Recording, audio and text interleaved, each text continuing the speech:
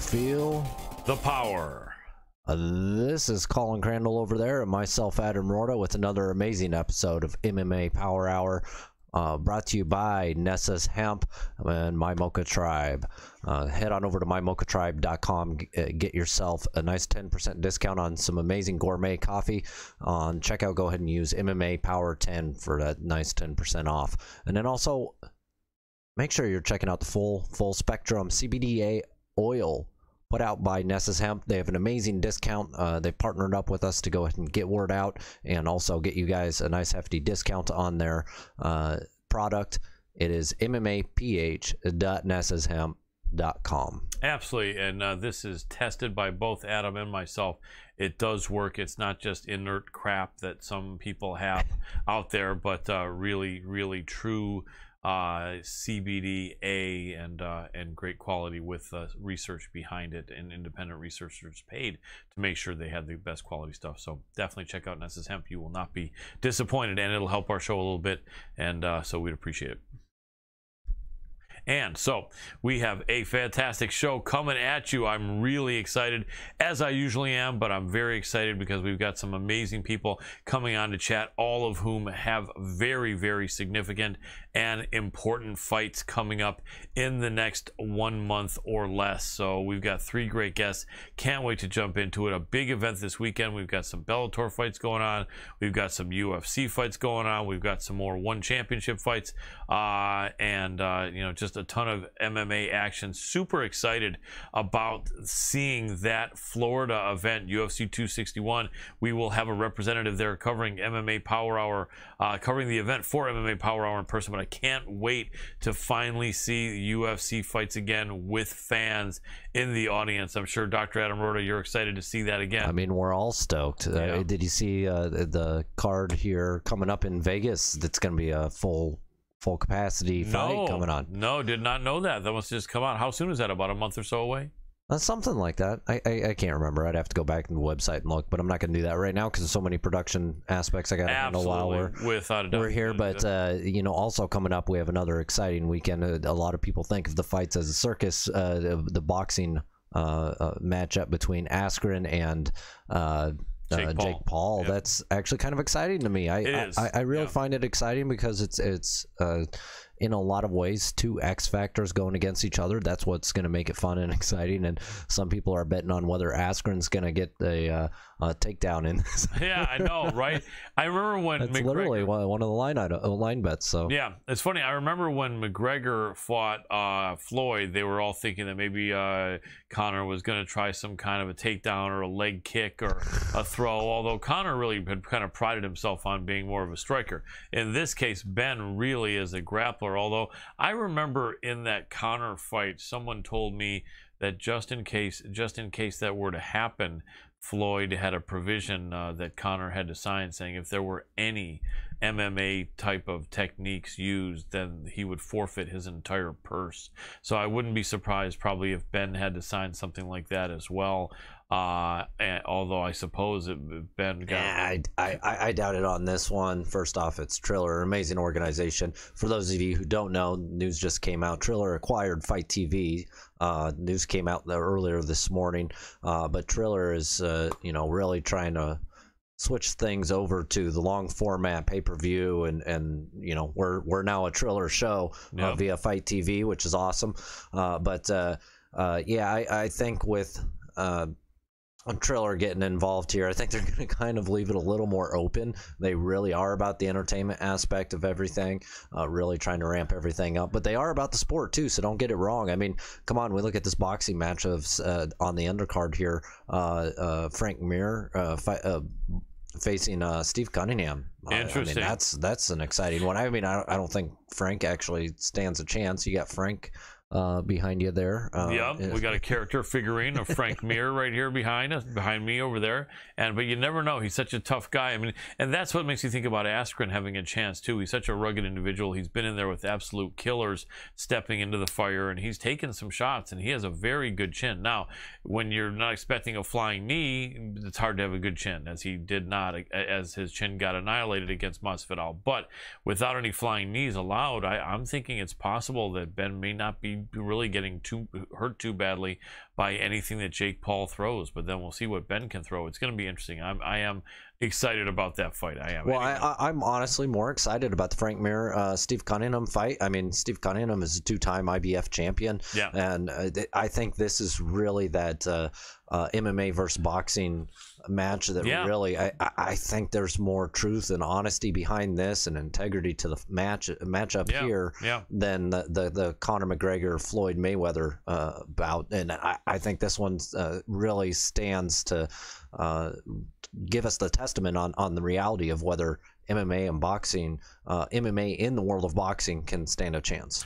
Yeah, absolutely. It makes you think. I know that Fr- uh, Francis Ngannou, our heavyweight champion, has been talking about uh, the, that he might be up for a, a multi multi million dollar payday if uh, Tyson Fury or Anthony Joshua wanted to fight him, and that is an interesting thought. Although I think most of the people would not make Francis the favorite in a pure boxing match with those guys. But I tell you, if Francis lands first, anyone's in trouble. Anyway, I know we have our first guest ready. If you want to, he is absolutely ready, sitting here waiting for us. So we'll Excellent. give him a then, call and get a Skype dance cool. going. And then I see you have his file there. Yeah, I sure do. Fantastic work as always, Dr. Adam Roorda.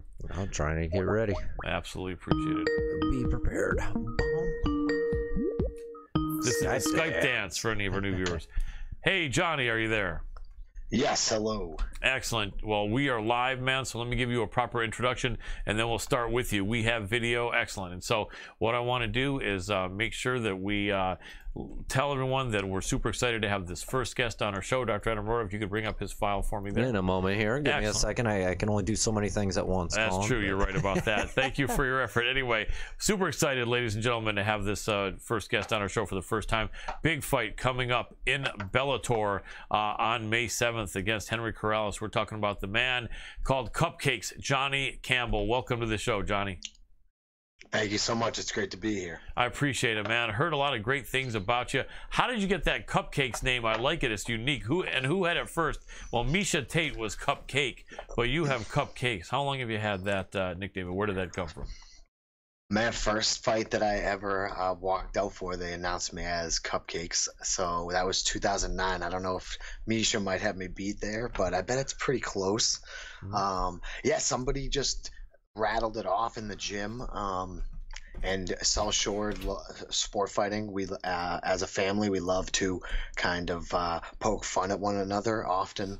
Uh, more often than not, probably. So they like latched onto cupcakes, thought that was fantastic, and I like smile and enjoy my training and uh, my life quite uh, uh, quite obviously. So cupcakes sort of fit, and I dig it too. I, I just feel like you know you got to be a little different. That Purple Cow um, is a nice book that if uh, if those of uh, out there who haven't read it should. Uh, it's good to be different, and when we can kind of find that uniqueness in ourselves and kind of run with it, I feel like good things happen. So I agree. Very well stated. Always good to be original. And I think you might have beat Miesha. I know she went by Takedown uh, Tate until maybe like 2013, 14, or 15 or something. So yeah, you had oh. the cupcakes first. I like that. Well, you are from the East Coast, fighting out of South Shore Sport Fighting. Is that right, or have you moved to a different gym? Yes, sir. No, that's um that is my my mainstay. Uh, I get my most of my work done at South Shore Sport Fighting. I, I uh, frequent the UFC gym in Boston nice. and also uh, a few other places. I got you know, uh, being a 33 plus whatever have you fight veteran, I've accumulated um, some fantastic friends in the game, and I'm always able to be getting training uh, somewhere. But South Shore, that's that's my home. Very cool. Now, South Shore, I know, isn't as, as big a school as like American Top Team or AKA or Sanford MMA, but do they have some people that that have uh, some names either in Muay Thai or in MMA or in kickboxing? Anybody that you could throw out that people might have heard of, or who are the people that tend to help you the most, uh, especially for this game? Yeah. Absolutely. For th- something like this, uh, I got a, a gentleman, D. J- D. Sabatino, Zach, who um, is a pro um, around the, these parts. Fantastic. He's a 55er and just a, a monster wrestler and jiu-jitsu practitioner. Um, guys like Josh Grispi, who is a ex-UFC fighter, who's just Mhm. like a phenom. Um, fantastic fighter who just like life is just a crazy roller coaster ride and Yep. Josh didn't necessarily um, like fulfill his potential, but the guy is still working in the gym um, and helping me out even to this day with uh, a guy, Manny Bermudez, same kind of idea, just like a freaking freak athlete and fighter who, uh, yeah, he made it all the way to the UFC, accumulated victories in the UFC, and then kind of, uh, it's just not what he loves, you know. I'm, I'm Yeah. here at th- you know 30 fights later losses winning streaks injuries i don't give a fuck. I love this shit. I love fighting and i love testing myself against great fighters. And um and yeah manny's another guy who's just uh, everything. I mean he's given me so much over the years as far as striking and and um and and grappling and jiu-jitsu. Uh, and then some other guys who may or may not have names like uh, a guy named frank sforza who um, is a killer pro out of South Shore who finished I think six and one and retired, but his wrestling and his voice is inside my head almost every day. Nice. Um, so and then guys like Kim Moy, who I'm going to be sparring with on Friday, who another one just a fantastic fighter. I think he finished like 11 and two, retired recently, and he's just still in the game, like just loving getting better and uh, challenging himself. So I have so many great guys. I got black belts who are whooping my ass on Sundays, teaching me how to uh, be a better uh, grappler. So I feel like up here in the Northeast, we have like a small Dagestan, Mhm. uh, and we just are very much under respected or disrespected in a lot of ways comparatively to these other regions uh, because we just eat each other alive up here. I mean, if you get out of this area with a good record, holy shit, you are a fucking animal. Only the best of the best to get to the top in this area because you will kill yourself trying to get there. And I'm just somebody who uh, you knock me down a hundred times, I will continue to get up, and I am still here. And Henry Corrales is uh, a fellow that I am lit up to fight. I I'm so so grateful for this opportunity, and it's gonna be uh it's gonna be a fantastic experience trying to take his head off his shoulders. Absolutely, man. I like uh, I like how you talk. That's uh, exactly the attitude you want to have and the focus. You know, I remember a guy that I think is retired because we've been on the air for four years, and I remember a guy that I think might have been out of your school. Did you used to have a Jimmy the Tooth Manning over there? Yeah, yep. He's a brown belt uh, jiu-jitsu wizard who uh, great story, great guy, fantastic athlete. Love him. Yeah, really, really amazing guy. Fought into his early 40s and uh, just an amazing guy. And uh, yeah, a lot of great people on the East Coast. I actually I, I grew up in Michigan and I spent time around the Midwest in different states as well as the West Coast. But I had never been to the East Coast until about three years ago when I went uh, as UFC credentialed media to UFC Boston, the one where Joe Lauzon made his comeback. If you remember that fight card where Dominick Reyes beat Weidman right, and I loved it, man. I mean, I really loved it. Like right away as a Midwest kid, uh, I felt at home in the East Coast, and I always felt Michigan kind of had a little bit of East Coast flavor because we're going more toward the East Coast than like Iowa and Minnesota and places like that, right? And so I just Yeah. right away felt welcomed. I mean, like literally going to the to the bars and the restaurants, and they're talking to me like I'm an old friend, like I'm a regular, you know. And it's just you know good people back there, really really good people in New England. I gotta say. Yeah, the cold does something to you, I think, in a lot of ways. It makes you like tough and hard Yeah. and friendly. And uh, yeah, it's it's a good place to be. I'm I'm blessed to be here. Absolutely. So when you got the call here for the Henry Corrales fight, had your had you already been in talks at all with Bellator, or was this just a completely random thing?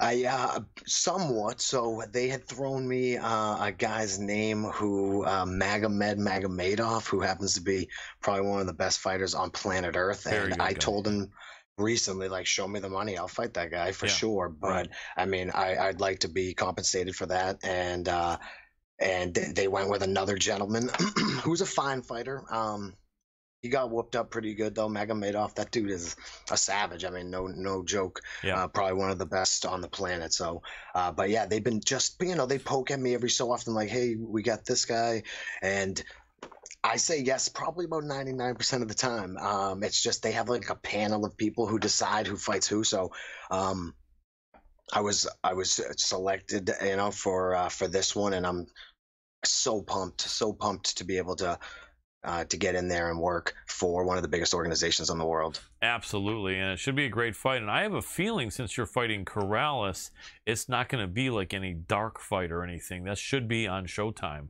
I'm almost positive. I mean, they're not going to. I mean, Henry's just been in too many fights there for them to tell him, well, since you're fighting a, a newer guy, you can. No, he's his camp wouldn't go for that. So you're you'll be on Showtime for sure, and uh, I'm excited to see it happen. So this will be uh, this will be the first time that I think Henry drops down to bantamweight. Let me ask your opinion because you do seem like to mm-hmm. be a, a really educated fight fan as well as a fighter. I can tell just by talking from talking to you.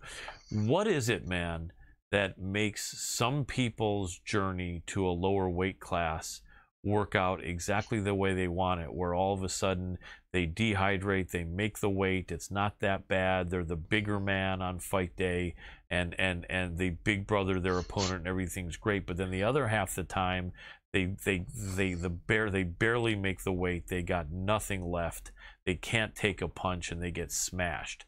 What is it? Just kind of like random, or the or the person's body or mindset, or or you know what what makes that happen? And and what do you think? I mean, obviously you want the best of Henry Corrales, but uh, how do you think he's going to play out? He looked pretty shredded as a featherweight, and now he's going to be a bantamweight. What are your thoughts on all that? Uh, so, like researching him a little bit, he has, I believe, fought a bantamweight back uh, throughout his career, early on his career, when I'm sure he was maybe a little bit leaner Yeah, in, uh, in general. So, uh, I, I think this is going to be a very interesting experience for Henry Corrales. I, I'm so comfortable at 135 pounds, and I have it to a science. I've made 125, and I I was that gentleman who got down there and then realized, oh shit, I'm at five percent body fat when I'm at 35, and now I'm just gonna shave off eight pounds of muscle to make weight. Yeah, sure, I made weight, but who I was a shell of the person that I was or can be at 135. and- Kind of like when Dillashaw went down and fought uh, and fought Cejudo. He looked like a skeleton. Remember a couple years ago? You have to be. Yeah. Corrales is at like six percent body fat, maybe, maybe less when he's on fight night for a forty-five. I mean, he's a pretty good sized dude at five foot eight, I believe. Um, yeah, he's gonna have to make one thirty-six, and then he's gonna have to deal with me, who is f- just gonna be coming in fast, explosive. I'm gonna have a hundred percent of who I am that night, and I do hope that he brings I, I know he's going to be a fantastic fighter. I mean he's an outstanding athlete so i expect the best from him. But i've fought my last five fights nobody can handle my my punches at 135 pounds. When i hit them their brain shakes and they fall down and then i finish them on the floor if i don't knock them clean out. I mean literally four out of my last five opponents all got hurt pretty much on the feet and then i finished them on the floor. So Nice. it's gonna be a very similar thing. He overextends, he loops his punches. He's got a good uh, check hook, but I, I just, I'm supremely confident in the fact that I will find his jaw or one of his temples, and I will collapse that man. Nice. I like it. And I don't think there's any bad blood between you and him at all, is there? I respect him incredibly. I think he's a great fighter, and I think that I know I saw a funny or I you know glimpsed a video on YouTube of him talking about prison fights, and I I honestly believe that that's what this is going to be. We are both scrappers in a way that we fight more than just like boxing and jujitsu, and we're not compartmentalized like that. We are in there fighting the other person as if it's the last piece of food on earth and that is what i intend to do and i'm going to pull every bit of him that out that i can and i'm going to uh, i'm gonna just hammer his brain until he cannot take it anymore. I, I like it, man. That's the key. You got to do that. Well, speaking of that great strategy and that intensity that you have, man, tell us a little bit about you, man. I'd like for people to get to know you better because, as you probably know, you can cheer for people you know. Like if, if you were if you were a fan of an action movie and let's say Jason Statham all of a sudden started going to the bar where you hang out sometimes or whatever, you might cheer for him because you're like, oh, I see that dude, you know, eating a corned beef sure. sandwich and and you know like that. So what? tell us tell us about you, but do this. Go back to maybe like high school or something where I think a lot of guys get into combat sports or like to fight, and give me like the last ten years, but take out any points that might not be exciting. Give me some of the either excite, exciting and interesting points about your journey over the last say 15 years from when you first started getting into some sort of combat or, or something, I would imagine. Man, I mean, realistically, it started I were so early as far as like you know fifth grade and, and before then uh you know the high school wrestling coaches came in and during fifth grade and for like a week in gym class we did uh, some like high school wrestling and learned wrestling so that they would be prepared if anybody wanted to wrestle in high school. And uh, no not a joke from fifth grade on. I mean that's all I, I've really thought about is fighting people and and to a detriment to typically because socially it's not exactly acceptable to be fighting people uh, on the streets and things but i would do so and i would pick them and man i just uh, high school hockey uh, some of the biggest and most exciting memories that I have from high school is just uh, is absolutely labeling people in hockey games and hearing 400 people screaming and chanting and smashing the boards. I live to entertain people. I mean, I'm always wanting to make people laugh or whatever it may be. And I love fighting and and pretty much always have. Um, and a lot of times like i said it got me into trouble many times many many times and got me into like some bad situations where like defending people that i wouldn't have to and then end up um like arrested at one point for assault and battery on a police officer even though i didn't even touch anybody right and i was found completely innocent good. of that by the way good, good. but um but yeah it was all related to just like being wanting to have like a big dick basically you know right. like i was always like picked on for the most part in high school being like the lower 25 percentile of like size right people thought that i could would be a great person too like oh i will bully this kid right. and then that'll show everybody else that i'm like this big tough guy but i would typically uh, do my best to fight back and and it all spiraled towards like you just need something that is um, like structured, but still has that same outlet of competition and and combat. I mean, I feel like so, so many people love fighting and that's why I, one of the reasons I love it so much is that universally it is something that people respect and love. Mm-hmm. Whether it's Mike Tyson fighting when he's 50 or Jake fucking Paul right. boxing Ben Askren, yes. everyone wants to know what's going to happen when those when two people fight each other, and it it is just what I was meant to do for sure. And um, you know, I had some issues as far as like uh, just mental problems. Um, mm-hmm. My thoughts would just destroy me if it wasn't a girlfriend it was like coworkers or video games or whatever it was anger was mm-hmm. always such a huge part of my adolescence and, and even like uh, some sometimes my adulthood even to this day still trying to like get control over it all the time but um it just pushed me to a point where martial arts was the like the gateway to happiness practically or enlightenment if you want to call it that but mm-hmm. self-discovery and this MMA thing is so much more than just like a paycheck or getting in there and fighting some guy. You know, I, I learned so much about myself every single fight, and then I can tell everyone else a little bit more or a, I can shed some light on what this thing is that we're all doing here this like life thing you know everyone has got struggles and everybody's trying to get through this adventure that we're that we're on and when I fight I learn stuff that I can then tell everybody else about and uh, man it's such a blessing to be able to do this. There's just so many people on earth that don't have, you know, they don't they couldn't, even if they wanted to they, they if they you know if it's a disability or whatever it is you know social issues or you know financial problems or whatever like mm-hmm. there are things that people want to do that they can't go and do and i get to do the one thing that i really love and man hmm, it is fantastic. So when you're watching me on May 7th, you know that I am in like the happiest place that I could possibly be, and I'm about to do the most fun thing that I've ever done. And um, and it's it's always a beautiful thing. That's why people like watching me fight. Absolutely, man. I like to hear that because they always say when you're having fun, the better fighters can be that much better because you're relaxing and enjoying yourself, and that's cool, man.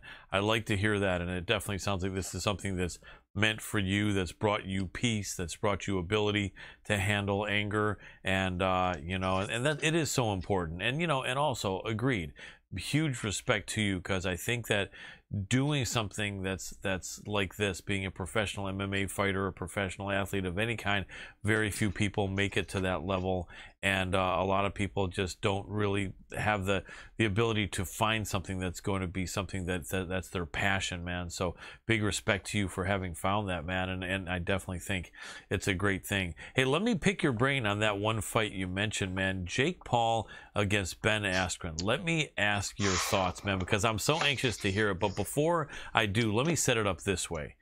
I think that that that could be a competitive fight. I think a lot of people are selling Ben short.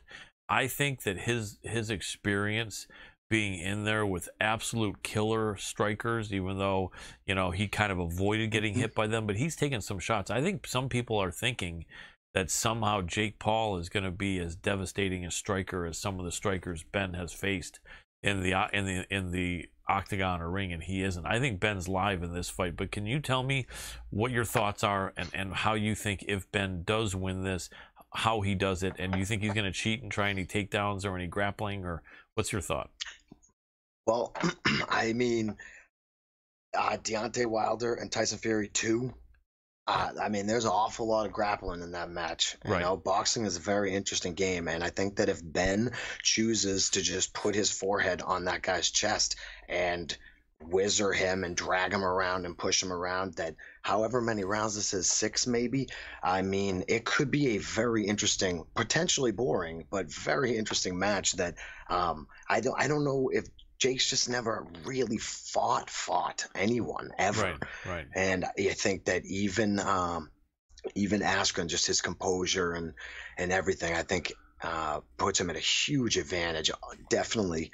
Um, but you just never. Paul's an athlete. That yeah. dude is, you know, and yeah. when you're that rich and you just don't have to do anything really other than like sign T-shirts or whatever it is that he does.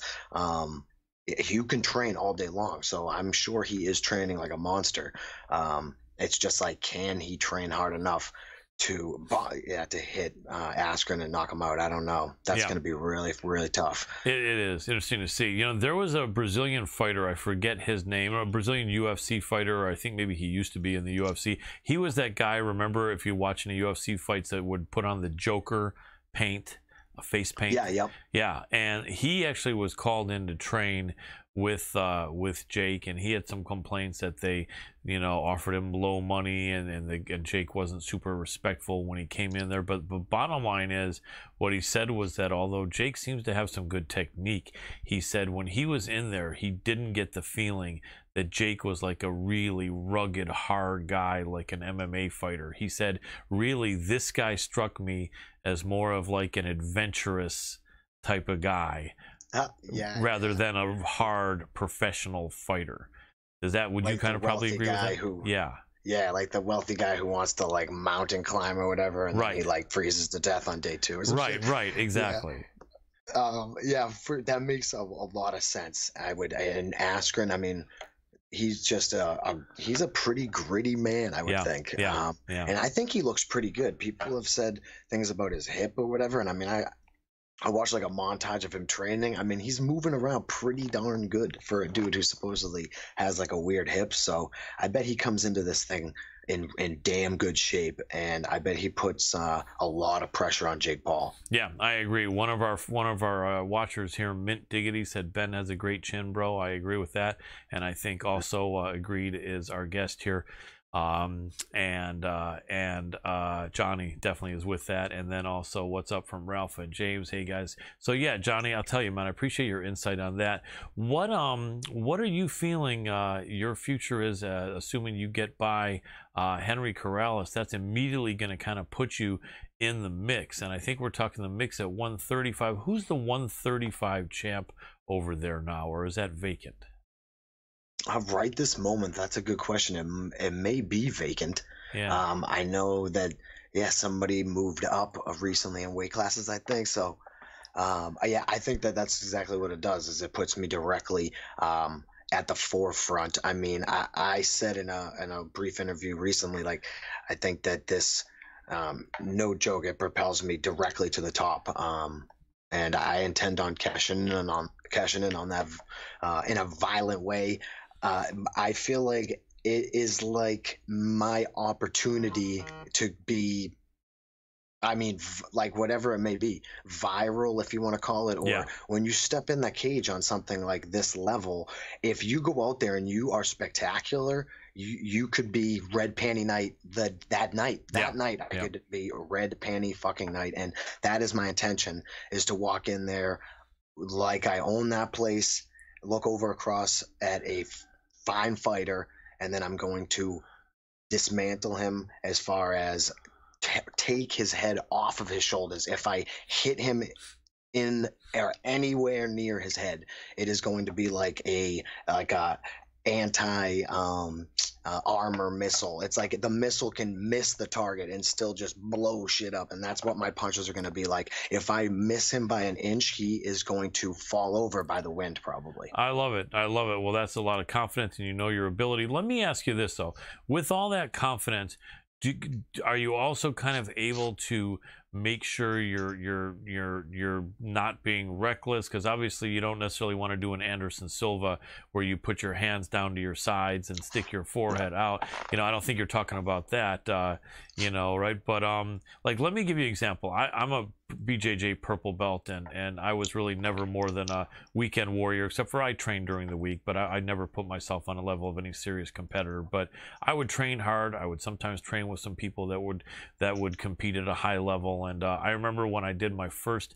tournament uh, outside of the school. Actually, I think it was before I got my purple belt, and uh, I was nervous. I was facing someone that had actually had like 12 matches in 111 and even had competed in a pan in a uh, pancrase tournament and Okay. I, and I remember saying to myself you know what I do believe I can win I want to win but I one thing I know is I don't want to get smoked and subbed in the first 10 seconds I just said to myself I'm going to so what I'm going to do is I'm going to go for it but I'm not going to get subbed in the first 10 seconds no matter what and so that was kind of my thought. And actually, I ended up doing really well and win. And I was like, I maxed. Awesome. Yeah, it was great. I maxed my muscles so much at the end that it felt like my arms were full of water or lead. Ooh, They, I- they were straight by my side and I could barely bend them, you know. And I remember it literally took me like seven minutes to re catch my breath. And it was a 10 minute, I think it was a 10 minute match. It's a great feeling, right? Yeah. Oh, it really was. It really was.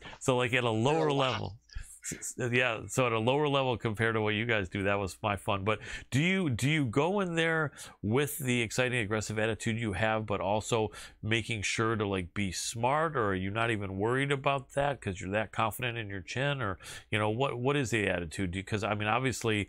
You've seen some guys in Bellator and the UFC that say, "Man, I'm just taking this. I'm taking this crazy man out," and they go after the other guy. They walk right into a shot, and the Oh, fight's over. And it's like, so you're. I think you're. mean- yeah, you're. You've got that in mind at least to to to be smart with your aggressiveness, right?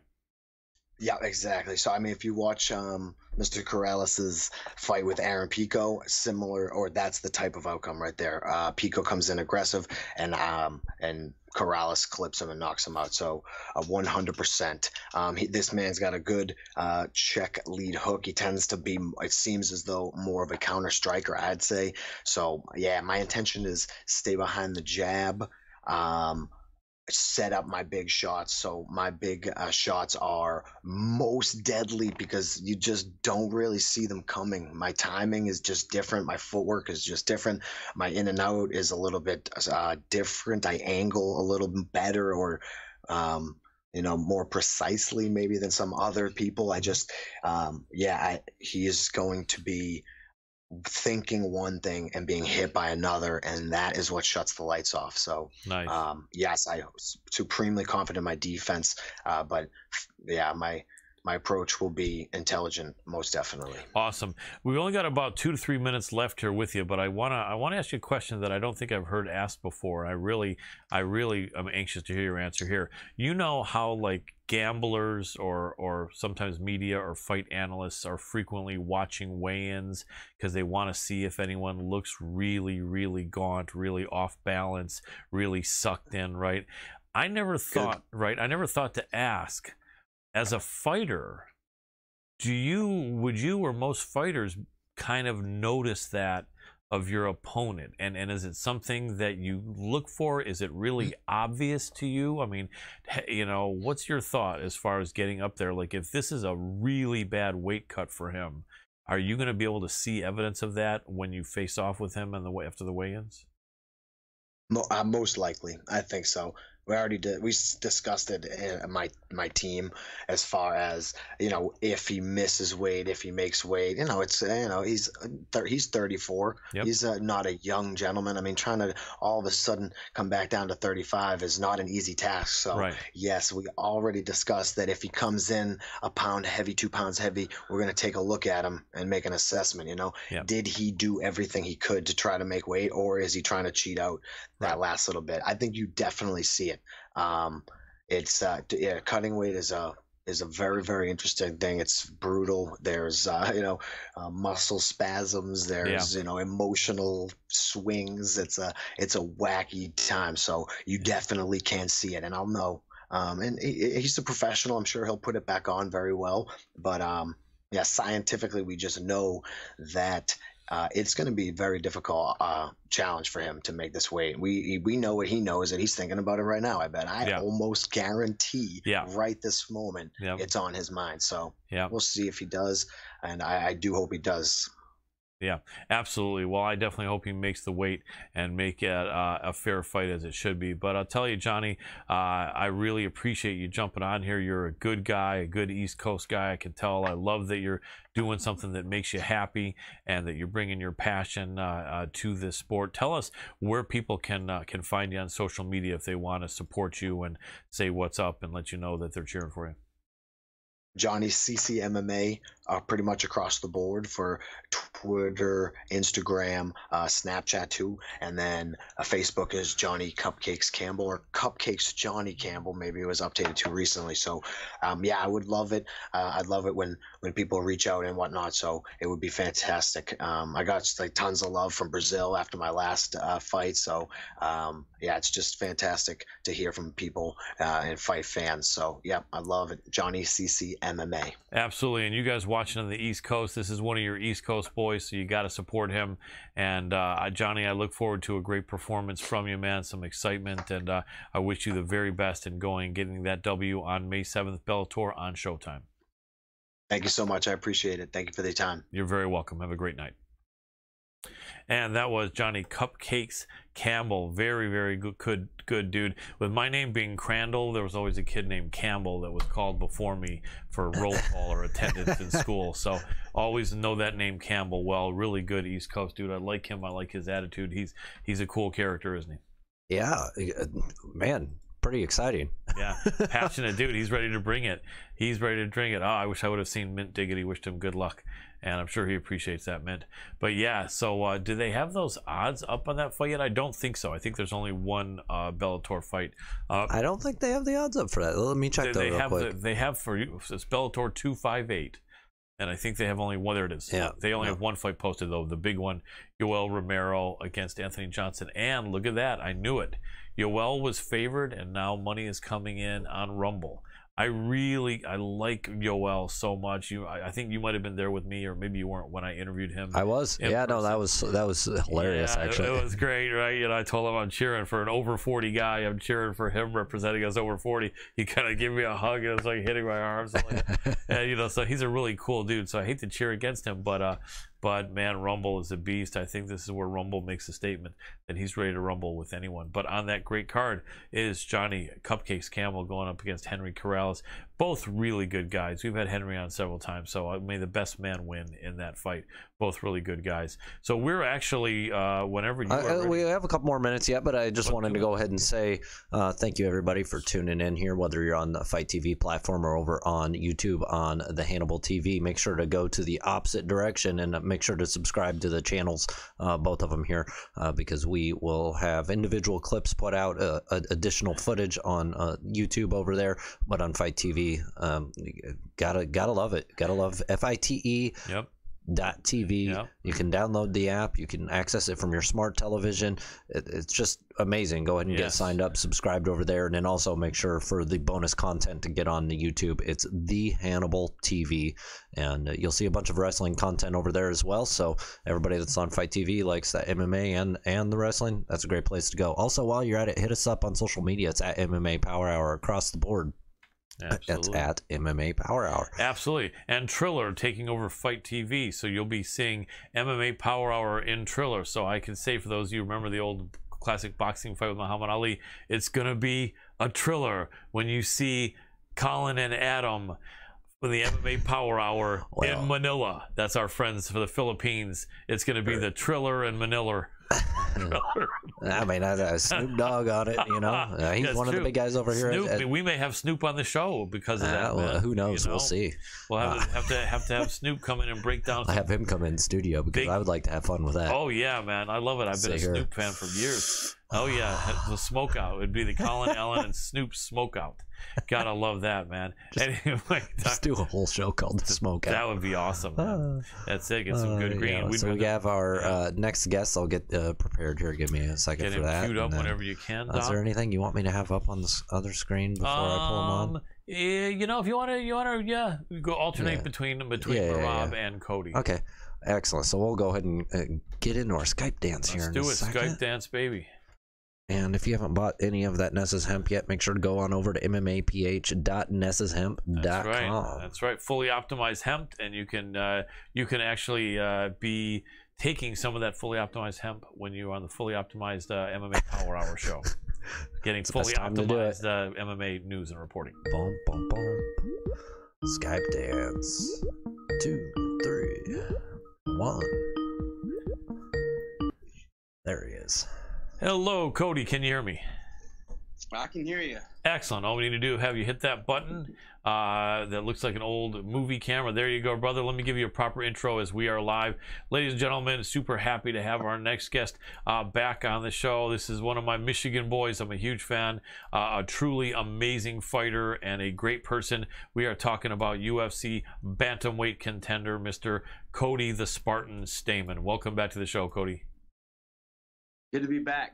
You guys have been well. I appreciate it. We have. I hope you have as well. I know you're splitting up your time between Michigan and Las Vegas, and I think probably leading up to a fight you're in Las Vegas more, or have you officially located to where you're relocated to where you're really pretty much in Las Vegas all year?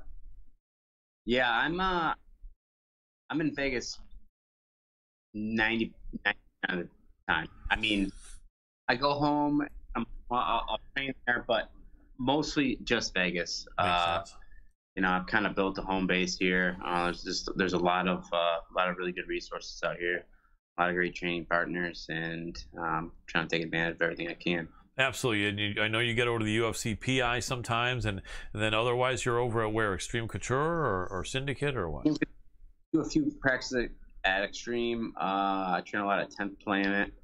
Nice. Uh, I at my house I train at. Mhm. Um, a lot of stuff at the PI. Yeah, I, I go. You know, I go where uh, the best work is. You know, I try to find the the best training partners, the best coaching for different aspects of the game, and and uh, you know, if there's a really hard practice that nobody wants to do, uh, that's the one I'm going to. Love it, absolutely, and I know that uh, I know that you are that guy, 100%. So this is the fight we have coming up here, May 1st, only a few weeks away, against Merab Dvalishvili, a fight that I think has been postponed once or postponed twice. Twice, two times, two yeah, times. man. so- First, first Yeah. fall, uh, I actually injured my back. I slipped a disc in my back. Uh, I was out for a couple weeks. Mhm. Um, I tried to get it pushed a couple weeks further back just so I had time to recover and get back in the gym. Um, just they couldn't make it happen. And uh, then in March, Merab got COVID um, and was pretty sick, so he had to pull out. And I had a couple other opponents step up to fight. They ended up getting COVID as well, so uh, I got left uh, on the scale with uh, with no opponent. That's no fun.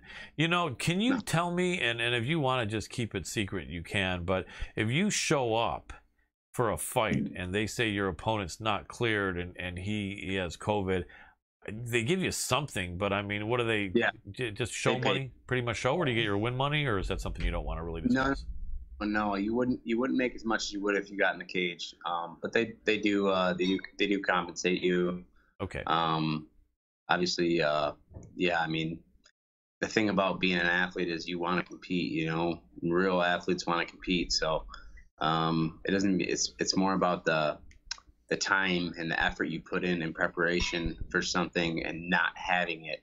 Right. You know, I think it goes way past money at that point. You know, you you realize how much you kind of yearn to compete um, when you know the rug gets pulled off from underneath you. Without a doubt. Do you remember in the early days of the UFC, uh, maybe not even UFC because they were always the big time, but remember the, the early days of MMA, probably back when you were a kid, and you would hear that once in a while a fighter would not make the weight or would not show up, and they would actually go to the audience and say, "Does anyone here at this around this weight?"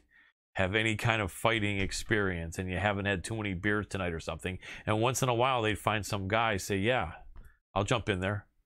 You know, like Yeah. what do you think of that? Seen it happen. Um, I've never, I've never personally fought anyone out of the crowd, but I have seen all kinds of. I mean, so when I came up in Michigan, there was no athletic commission, so there was no government, there was no government regulation for amateur fighting. Right. So I, professional, I could fight somebody that was not the same weight as me. I could fight. I mean, I could fight a bear because there's no governing body to say what can and can't happen. Right. Um, and you know that that's that's the MMA world that I came up in. So, uh, you know, I fought I fought professional fighters within my first five uh, amateur fights. You know, Oh, wow. 18 year old kid doesn't really know what he's doing. Oh man. Um, guys that were you know 20, 30 pounds heavier than me. Uh, I fought twice in one night. I, I mean, as far as MMA goes, I, I came up in the Wild West. I mean, it's obviously evolved significantly since Right. then, but right. it's have those roots, you know. And I was fighting professional fights every, every, you know, amateurs now they can't kick to the head, they can't elbow. Right. Um, coming up in Michigan, you could do everything. Yep. You could kick, you can knee out of the head. There, there was, I mean, the only thing you couldn't do was uh, bite him. Fish hooking like that, like- right? Like the old rules. And even if you did bite him, there was there was like you, you wouldn't even get disqualified. Crazy. Get a point taken away. That's definitely the old blood and guts era, you know. What would you what would you think if in efforts to keep a fight a fight on the card because nowadays with like a dozen fights scheduled for a UFC event, you have so many guys there. Like in each fight, you've got a dozen fights scheduled, right? So that means, let's say you have mm-hmm. 24 fighters scheduled, and and out of the 24 fighters, each guy probably has his three cornermen and maybe even like one or two of his teammates, you know, sitting, you know, somewhere watching. So that means a lot of people's teammates are there. So like what would you think if they were to say, "Hey, we're not going to go over to random fans in the audience, but we're going to go to the corners of these of these 24 fighters and say, are any of you guys fighters that have a winning record that are in this close range? And would you want to fight Cody Stamann here like in a half hour? You know, I guess it'd be kind of tough because they'd have to do a lot of contracts, but I guess A, they'd have to get your permission. Do you think anything like that could work, or was that just going to be too many problems inherently No, baked into No, that? I, I, don't, I don't think that that would be possible. Just because you got to think now. Uh, one, they would have to have all their medicals done. They would have to have a negative COVID test. Um, they would have to get on the scale and weigh in. Um, I don't. I, I really don't think anything like that could happen. You know, at this point in a MMA game, which is actually a good thing. yeah, it would be too crazy. It'd be ridiculous, wouldn't it? It, it it would, but I have seen things during COVID that have happened that I didn't ever think you would see in the UFC. I've seen guys getting signed on 40 hour notices. Wow. Uh, I've seen guys getting signed on 24 hour notices, meaning 24 hours before you're going to compete, they call you. Yeah, my medicals are done. Yes, I can wait. The next day you're in the UFC. I mean, I've seen I've seen Wow. things like that. That's um, crazy. which is just which is insane. You, I mean, it's, I don't think you would see that any other time. No, Uh, no. so I mean, the, U- the UFC has has had their hands full. I mean, you got to think the matchmakers are constantly they're working three times as hard because so many fights fall through because of COVID. I mean, not only that, it's a volatile sport, anyways. You know, guys get hurt every day. You know, fights fall through every day, and then you add uh, a pandemic on top of that. I mean, these guys are uh, Yeah. working for their money. Yeah, without a doubt. You know, it seems like in the in the last few cards things have been pretty good, but it seems like in um in March and February and January, every Saturday morning someone fell through. Now, let's say you really wanted to watch a card because you either had a teammate on or a friend on or just some bantamweights that you're really excited to watch. When when you find out in the morning of that a fight you wanted to watch is off, are you kind of as frustrated as the average fan going, ah, damn it, crap? uh," Or are you kind of more like prepared and expecting that to happen? Uh, I mean, obviously, I know the inside of the game, so I, I'm not at all surprised. But yeah, I mean, I'm I'm a fan of MMA. It's just like everybody else. I I I enjoy watching certain matchups. You know, there's definitely certain fights that I'm looking forward to, and when when they fall apart, you know, I think I have the same the same feeling that everybody else does. Um, and I'm just curious, you know, when they're going to put it back together. I Yeah. mean, having been a, been on that side of the uh, the curtain, I see I see how easy it can happen. I mean, really. Yeah. Uh, so basically, during fight week, you're going to take three COVID tests. You're going to take one when you get there. You're going to take one after you. Uh, you'll take one midweek, then you'll take one right before the fight. And if any of those come back positive, uh, fights off. And the thing is, is you know the tests are I think they're like 96% accurate. So you have like four four percent chance of having a false positive. It doesn't matter at that point. If, Right. you, if you have no symptoms, I've seen people that have no symptoms have no one around them has COVID. People that have been, you know, in the same hotel room with them for a week, um, they don't have COVID, but somehow someone randomly ends up with COVID. Yeah. And, you know, Yeah. chances are that it's a false positive, but Yeah, uh, yeah, still, are still getting yanked for that. I mean, that's just a liability thing. It's just what they have to do. yeah, I mean, I I understand it, but at the same time, you know, it makes it it makes it exponentially more difficult for for everyone to, you know, I think I- was it probably about a month ago. So there was a day, one day, I was uh, speaking with my manager, um, and he was on the phone trying to get things squared away for uh, something that I needed to get done, Mhm. and. Uh, he was like, "Yeah, you know, I don't, I don't think we're going to be able to get to it today because they just had six fights fall off today. Wow. Six fights fall in a day, Oh man, mean? and that was for a fight that weekend. I mean, this was like a Tuesday. Six fights. That's half the fight card fell apart. that's crazy. Um, that's so they crazy. have- they got to find four guys in the matter of two days, get them medically checked, get them to Vegas, get them quarantine, get the COVID. I mean, it's just it's Yeah. crazy, but they're doing it. They're really doing it. I mean, they are. Uh, you know, the the UFC is a a, a, a fine tuned machine at this point. I mean, it's uh, you know, if you're if you're one of those guys that's kind of on the edge, like you could possibly be in the UFC, uh, I would suggest you get all your medicals done. Yeah. I would suggest COVID test every week. Yeah. I would suggest that you're in the gym like you have a fight tomorrow every single day because uh, you never know when that opportunity is going to come knocking. And if you Yeah. have a good manager, he's going to tell you the same thing. He's going to tell you like, hey, listen, you need to be ready. You need to be almost in fight shape at fight weight for the next six months because you know if you don't get the opportunity now they're going to have to sign so many guys on short notice Yeah. um, they're going to have a surplus of fighters so you might not get another opportunity for a year and a half or more Right. you know because there's so many guys in the ufc they're not going to be able to sign more people Right. um, and that's where they're that's where they're getting to now. You know, it's it's become more competitive because there's so many new people in the UFC. So it's it's uh, it's a great opportunity if you're a young guy and you're trying to come up, but it's also uh, it's added pressure for the guys that are here. It's like, hey, there's 20 guys now that are in the UFC that want to take my spot. Right. Uh, I can't take anything for granted. You know what I mean? Like my, you know what I mean? My my life here can can end at any moment, so I have to do everything right, and I have to be the absolute best athlete I can be at this point, um, because you don't have any other options. Absolutely, absolutely, well stated, and I appreciate you giving the good advice to the people that are hoping to get a break and get called up by the UFC. That's cool of you to do. Um, let me ask your opinion on a couple of big bantamweights we've had in the last few weeks that had similar endings, and one of them is your uh, your coming up opponent, uh, Merab Dvalishvili's uh, teammate Aljamain Sterling in that fight against Peter Yan, and then over in one championship, uh, uh, Demetrious Mighty Mouse Johnson against Adriano Moraes. So first, in the Aljamain Sterling Peter Yan fight, I mean, correct me if I'm wrong, but I think even fighters like yourself probably feel everyone's entitled to their own opinion, and that maybe that situation is not. There isn't maybe one right answer of how to feel uh, or maybe you disagree with that and you feel that you know only idiots would not see that this is the answer but i'm curious what your take on that is because to me i thought it was interesting that khabib nurmagomedov who was not involved at all but was there just having finished cornered uh, uh, his his guy Islam Makhachev, and he overheard the uh, Peter Yan corner in Russian saying, you know, like kick him, knee him, right at the point when Aljo was on his knees.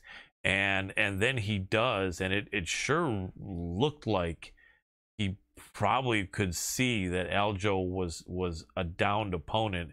And so therefore my personal feeling is kind of that the decision was right. And I know a lot of people say, well, make it a no contest. And I'm thinking, like, if you make it a no contest, then we're talking about Ric Flair and wrestling in the 90s, where he's losing his match. Now, Peter Yan wasn't losing, I know that. But Ric Flair would be losing his match, and then he'd disqualify himself, and they'd say the champion keeps his belt when he's disqualified. And you're like, but he disqualified himself. How does it? So my thought would be, you kind of have to almost look at that. You know, if you commit a blatant foul and you're the champion in a title fight, you should lose your title. So my feeling was, that's kind of I'm okay with how it went down. But what's your thought? And then tell me if you think your thought is the only thought that anyone should have, or if you could see maybe different sides of the of the coin. Well, so I, I see there's different sides to this coin. So I, I was illegally kneed by Song Yadong. Um, and he, he got me with a pretty good one. It was right in the first round. And uh, I decided to continue to fight. Yeah. And it, and I decisively beat the guy. Yes. And it ended up, that fight ended up being a draw. Right, I remember. Um, hindsight being 2020, should I have stayed down? Uh, I would have made more money. I would have had a win on my on my uh, my resume in that in that uh, particular in like instance. Um, but from a personal standpoint, I couldn't really live with myself, knowing that I could I could get up, I could shake it off, and I could compete. You know what I mean? Like right. You can't lie to yourself. You look in the mirror. Yeah. You, you know all your demons. You know what I mean. You can't you can't lie to yourself. You can try, but it, it, it eventually, you know, things start seeping to the top. Um, and then there's another there's another point to it. You know, like when Anthony Smith was was kneed kneed illegally by Jon Jones, and he decided to continue, and he lost. People Yeah. gave him shit. They're like, should have stayed down. Right. Uh, people are giving Aljamain Sterling shit for getting up. Right. Um, listen, no matter when something like that happens, no matter what takes place, um, people are going to give you shit for it. You know what I mean? Like that's that's how it works. Um, the question is, knowing myself as an athlete, knowing that Aljamain Sterling could have gotten up and competed, I know that. Uh, I've seen boxers dead on the canvas get up in 10 seconds and continue fighting and win. Yeah. Um, I've personally been in that situation, so I can shed some light on it. Um, I've been rocked before. I've been, you know, in in dangerous situations, and uh, I've managed to maintain my composure and go out and continue to to win fights. Um, seeing the knee land, knowing where it landed, um, seeing Aljamain's reaction to it.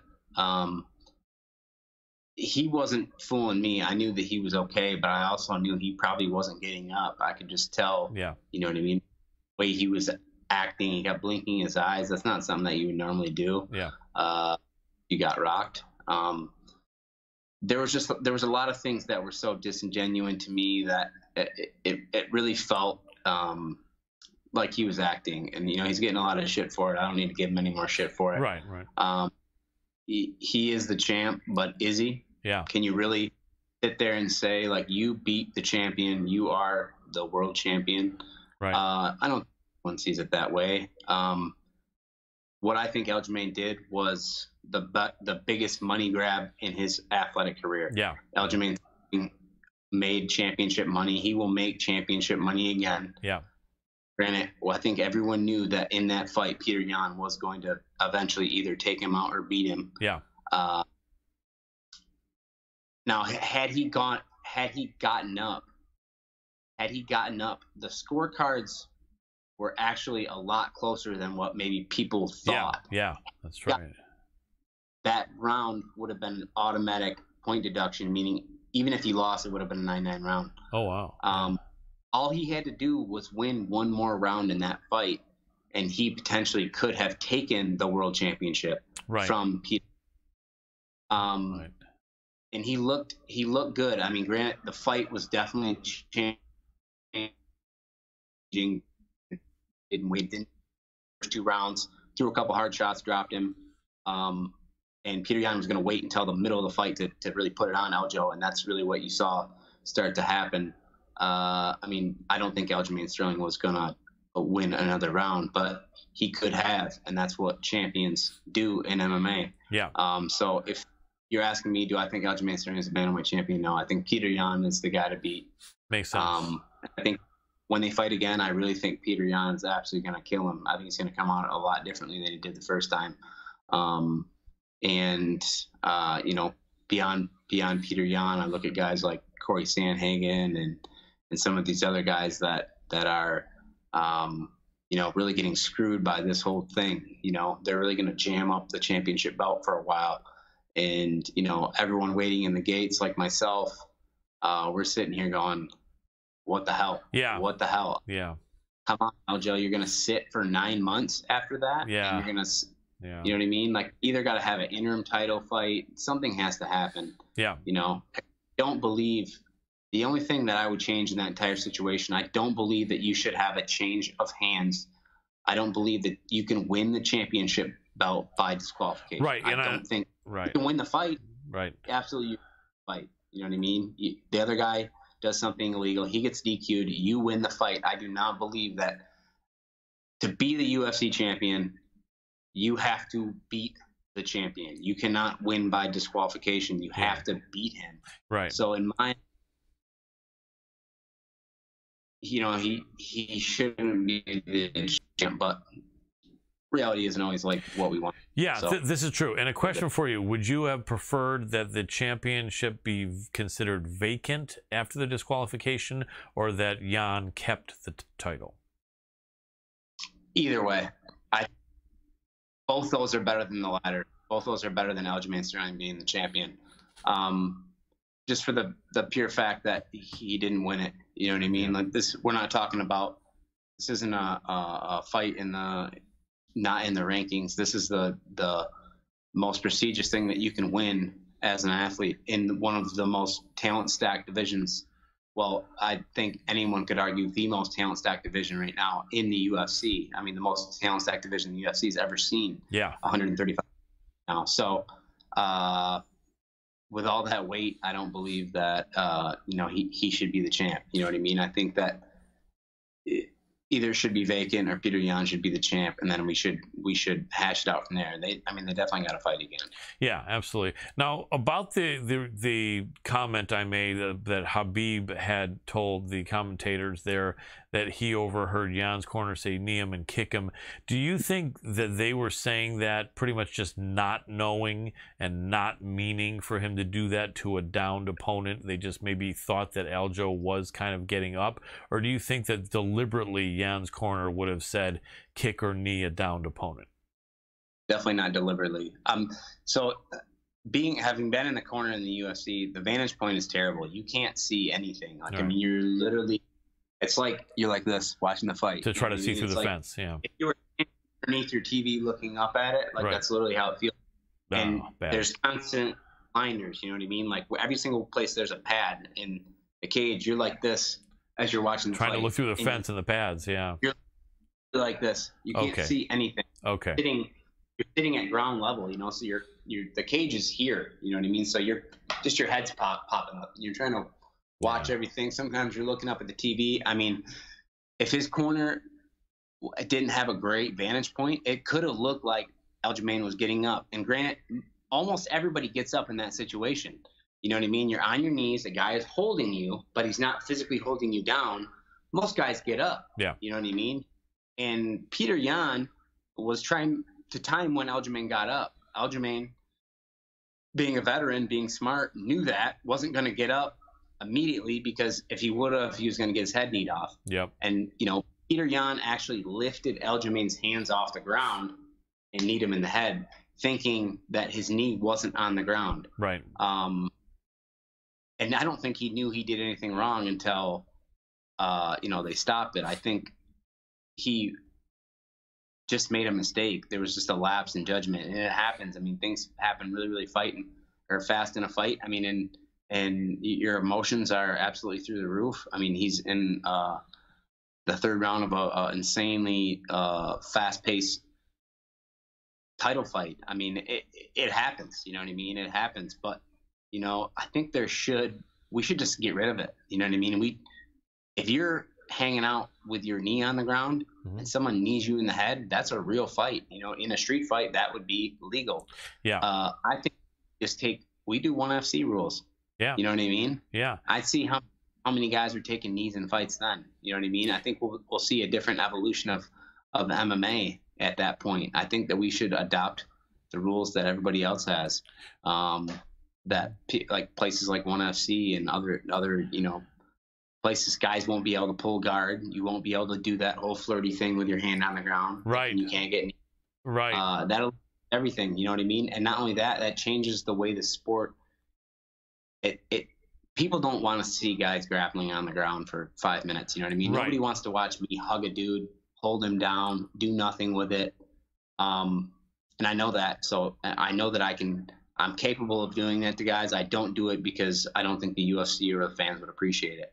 right. Um, if you take if you take away the rule that you can't knee or kick a downed opponent to the head, uh, it changes everything. You know what I mean? I can hold a guy down and then I can stand up off him and boot him in the head, uh, just like a real street fight. And Yep. you know, if we want we want to make MMA a little more interesting, that's what we do. I mean, Absolutely. that's what I'd like to see. Yeah, absolutely. I think a lot would, and that's what we saw with the the, the Mighty Mouse versus Adriano Moraes fight. Um, I think a lot of people mistakenly thought somehow that Mighty Mouse was having flashbacks, thinking he was back in the UFC and that there was no needs to a downed opponent. I didn't see that at all. I think Mighty Mouse was hurt by that uppercut, and Yeah. he just got kneed when he was hurt and finished. Yeah. Yeah, yeah. I mean, uh, Mighty Mouse is a smart guy. He he uh, he knows the rules. I mean, I, and he didn't make any mistakes. He he went out like a like a true champion that he is. Yeah. Um, said you know bad day at the office, and uh, I'll come back and, and and get him next time. I mean, Yep. listen, Demetrious, guy that you can't help but respect. You know what I mean? Win, loss, or draw. Uh, if you know Demetrious Johnson, uh, you're a fan of that guy. Yeah. You know, he's a he's a great champion. He's a you know one of the pioneers. I think he's probably the guy that kept the 125 pound division alive and one of the most dominant champions in, in, in history. So I mean, like when I think of Demetrious Johnson, that's what I think about. Without a doubt. And not only that, but he's fighting, even though they call it flyweight, over there at One Championship, formerly One FC. I don't know if you knew this, you probably did, but the, the, the divisional name is not reflective of the same weight as in the UFC. Bantam Yeah. flyweight is actually bantamweight. So you would be a flyweight over in one championship. And oh, they Yeah, don't right, and because they don't have a 125 division. So Demetrious is actually fighting bigger guys. Now I know people will say eight, ten years ago he fought at bantamweight, but that's because there was no UFC flyweight division. I think you can see he was clearly undersized, excuse me, in that fight, but doesn't mean he can't win it. But he is essentially fighting one weight division heavier uh, than he should. Now, on a positive note, that means a guy like him is probably cutting virtually no weight. So he's fighting fully hydrated and, and, and all that is great. But then he's also fighting bigger guys who are probably outweighing him by seven to 10 pounds on fight day. But it is what it is, right? He's still a great fighter. And I think this Moraes is a tough, uh, a tough, tough guy. Um, what would you think if somehow they said in the UFC 135 pound uh, division is done anyone that's in bantamweight can weigh up to 145 would you would that make your life a lot happier or easier or, or are you fine with fighting at 35 Uh, I'd be thrilled. I'd be absolutely thrilled. Um, 35 is hard. 35 is hard. I mean, uh, it's it's hard, and you know the hard part about it is um, I still have to do all the workouts that I I would normally do. Yeah. Um, I still, you know, today I did three workouts, uh, and a couple of them were really hard. Um, and I'm doing it on uh, such a huge calorie deficit. People think that you can just work the weight off, right? Right. It just comes off. No. You guys work out so much, I eat whatever you want. I'm like, God, man, I really wish that was true. yeah yeah yeah Percent diet, 20% working out. yeah about what you eat. And uh, I've been on uh, a calorie restricted, very clean diet for, for, for months now, you know? So um, it's hard. It's hard. I mean, because eating is such a social thing, you know what I mean? You have friends over, you cook, you know, you go out, you go out to dinner with people. You know, I go out to dinner with people, I watch them eat because I'm like, ah, you know, I have, I have a meal plan in place and I, I don't get to go have ice cream. You know what I mean? I don't get to, to go out and have a steak dinner with, with my friends. You know, I have to I have to be extremely disciplined. And as much as people hate cutting weight and they think it's cheating and they think it's this and that, I'm like, well, if, if you understood like how disciplined you have to be to really do this, to do it right, um, I think you'd respect it a lot more. You, you know, cutting weight isn't something that's going to go away. I mean, even if they change the weight classes, even if even if they make us do hydration tests, like guys are just going to find ways around it. yeah yeah and still one yeah, competitive advantage. Yeah. In this sport, there's just no way. Wrestling, they do it in wrestling. Anytime there's uh, a weight class involved, guys are going to try to get to the lowest weight class so that they can be the biggest guy in the fight. You know, you want to be the biggest dog in the fight. You know what I mean? Because we all know how to fight. We're all mean. We're all nasty. We can all hurt each other. Uh, wouldn't it be nice if I could go in there on the fight day and be a little bit bigger than that guy? Yep. Um, you know, so uh, cutting weight's not going away.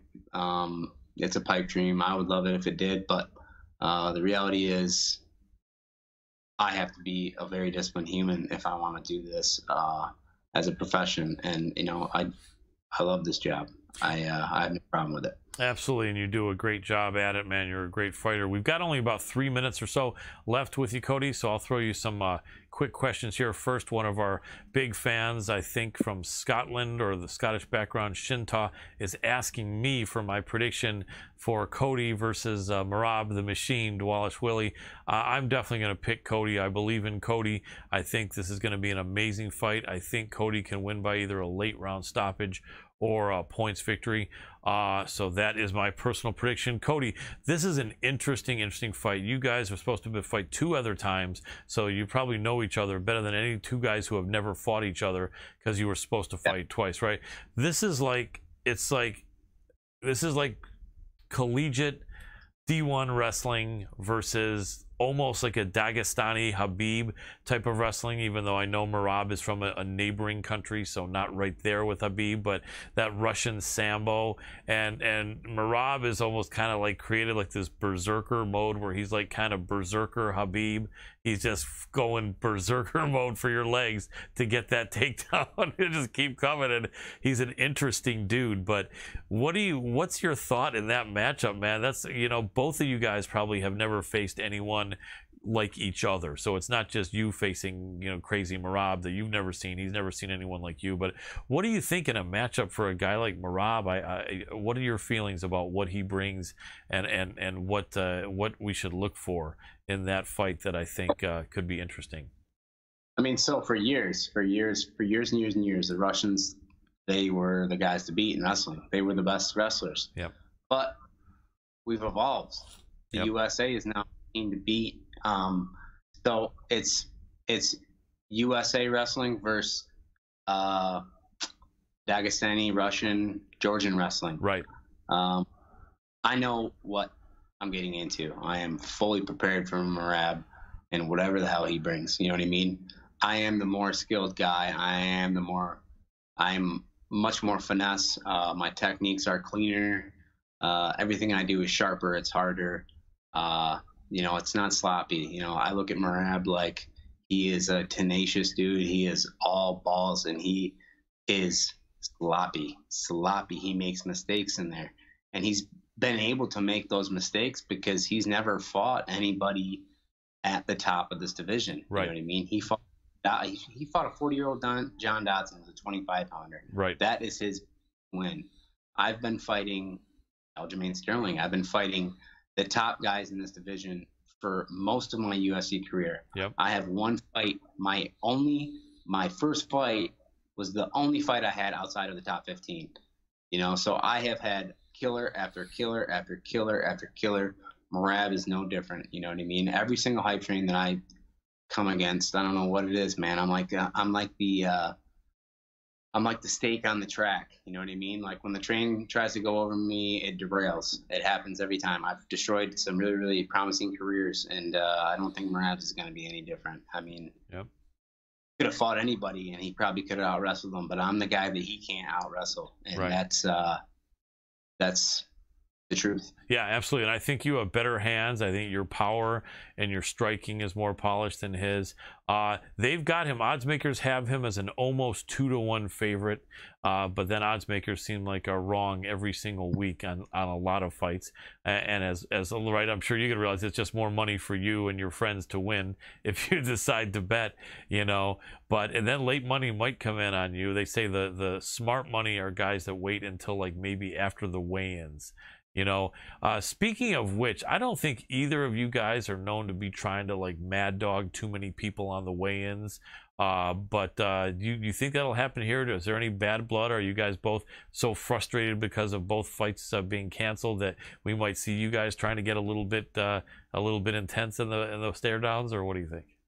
Uh, there's no there's I mean right now there's no personal bad blood. Um, but I think if Merab uh, hears this interview or any of the inter- other interviews I've been doing, I think he might be a little pissed off. I mean, I would love to see yeah. the the creature come out. I want him to bring his best. You know, yeah. I want to see the best Merab that's ever set foot in that cage because I don't really think it matters. Makes sense. Um, as far as the odds makers go, I mean, I've been an underdog five out of the six of fights I've won, so um, I got a pretty good record as an underdog. That's true. Last question for you.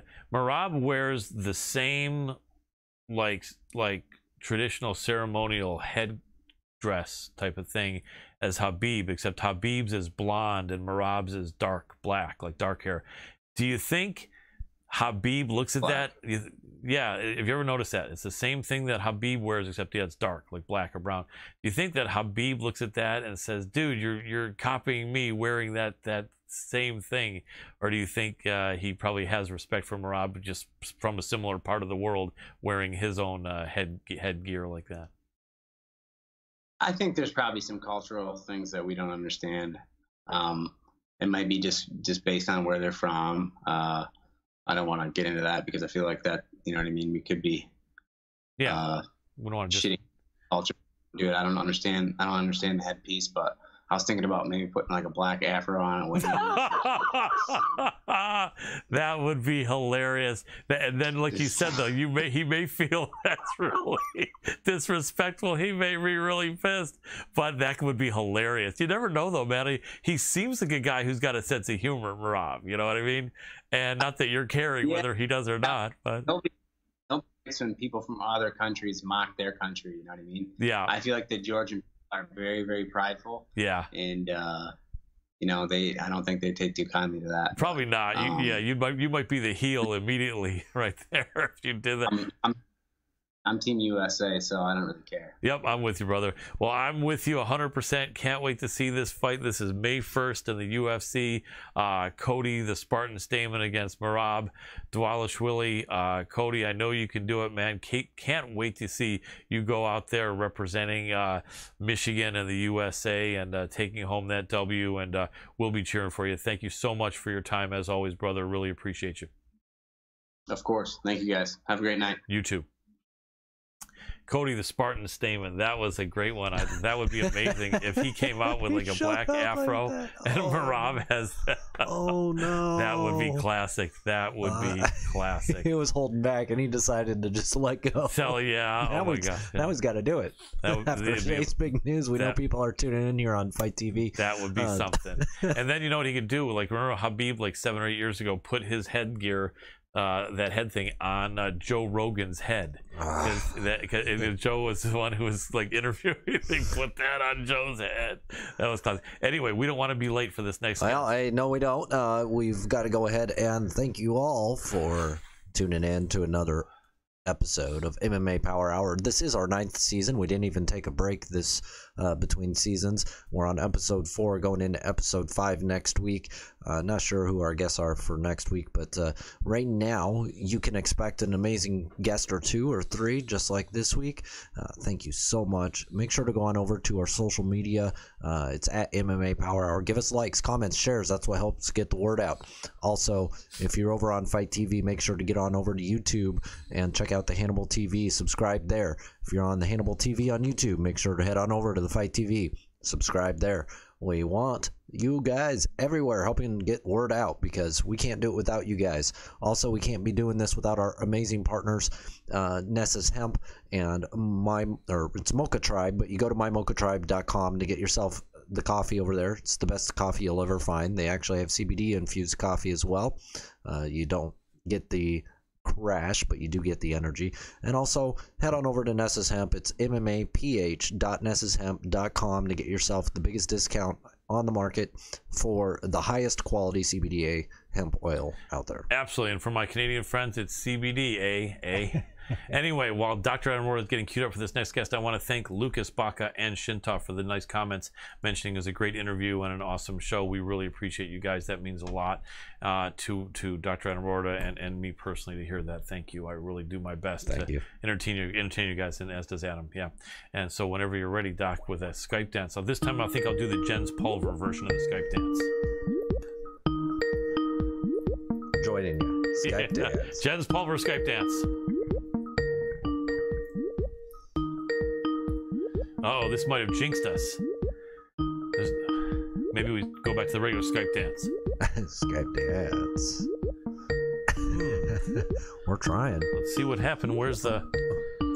Do I? Just start beatboxing with it. Oh, here we go.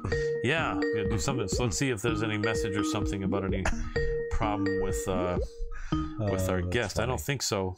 I wonder if she's Skype changed her. You know, I wonder if she's changed. her- Do you see her on by any chance? As she is on, Huh.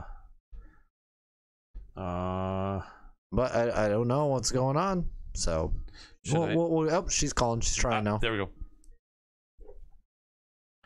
Hey, Miranda, are you there? I am here. Awesome. Appreciate you a lot. All we need you to do is hit that video, and you already did. Fabulous. So we are live, Miranda, as usual, and we're going to give you a proper introduction, and we'll be off and running. Ladies and gentlemen, so excited to have this next guest back on the show. She just keeps killing it uh, in the UFC with a huge fight coming up uh, in a couple months against Maycee Barber. We are talking about the woman they call Miranda Fear the Maverick. Miranda Maverick, thanks so much for coming back on the show. Yeah, no problem. Thank you. My hair's all messy. I just got done with jujitsu class. Not a problem. I know personally that's how jujitsu uh, can uh, make your hair look, and uh, yours doesn't look bad compared to how mine and some other people would look. So absolutely. But you are a blonde now, but you've been kind of a blonde. But are you a little bit lighter than usual now? A little bit lighter than usual. I dyed my hair before, uh, a little ways before Gillian's fight, I guess, right before we had our first fight scheduled. Um, it used to be a little bit darker, um, but still tried to keep it pretty natural. First time I ever dyed my hair. I like it. I like it. You know what I was thinking? You're from Missouri. Is the grocery store near you Schnucks? Um, I don't remember a Schnucks in Missouri. They're not. I think I could swear it was in the St. Louis area, but you're not really near St. Louis, are you? Yeah, I'm not St. Louis. I'm about three hours from there, so they might be up there. I've definitely used the word schnook and schmuck of people, but not. Uh, not the supermarket, right? I saw because I had an ex girlfriend that used to go to that store. Then I heard a comedian throw that out because I was thinking like if people recognize you, where where is the most unusual place that someone's recognized you in Missouri, or are they not quite big UFC fans enough yet, and it hasn't happened? I bet you it has happened. well, not sure about Missouri. I'm living in Virginia now. That's right. That's uh, right. Uh, in Virginia, I've had somebody recognize me in Walmart actually right after my first UFC fight. I didn't have any identifying clothing on. I had a mask on. It was just a plain, you know, medical mask. And I had my hair down. Huh. And some tapped me on the shoulder and was like, Miranda Maverick? And I got creeped out, you know. In the middle of Walmart. it was. It was. And I was like, yes. Yeah, yeah, asked, you know, and he was like, oh, I just I saw your fight, wanted to congratulate you, and I was like, do you mind if I ask how you recognize me? Yeah. What the heck? Like your your hair's all fluffy. You got a white girl afro, is what he called it. That's funny.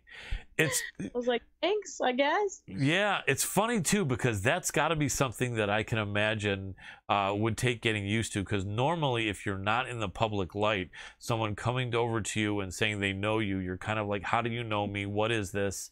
What are you trying to talk about?" But you know Right. where where you're at, and you'll start seeing it. I think as you keep on doing well, is people will recognize you as someone they cheered for, as a fighter they saw. They don't want anything from you. They're not trying to do anything to you except for to be like, hey, it's you, you know? And that's got to be something, right? At first, it's kind of weird, but it's kind of cool after all, isn't it? Yeah, at first it was weird. Now it, it it's gotten cool, and there's times where it's annoying almost, or I wish that the light wasn't on me, you know. Right. Um, like there's been other people's celebrations I'll be at, and I become like almost the center of attention, which I feel bad about. right. But then I'll be at a restaurant eating sometimes, and I'll have people that are like, Miranda Maverick, and they end up getting excited, people excited around them, which is always funny. I joke that if I went up to somebody else and just shook them and was like, "Oh my gosh, John Smith," you know, and whoa, who's he? like that's funny.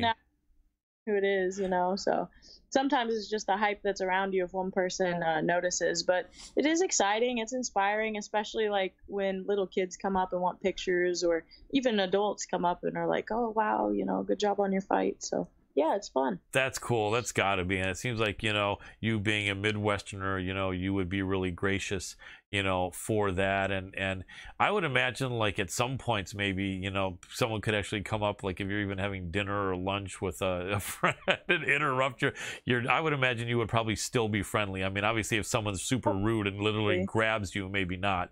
But as long Yeah, as they're not, right? You know, instances I've ever felt like I need to be rude. There's like the first instant reaction if somebody like touches me in the middle of a store.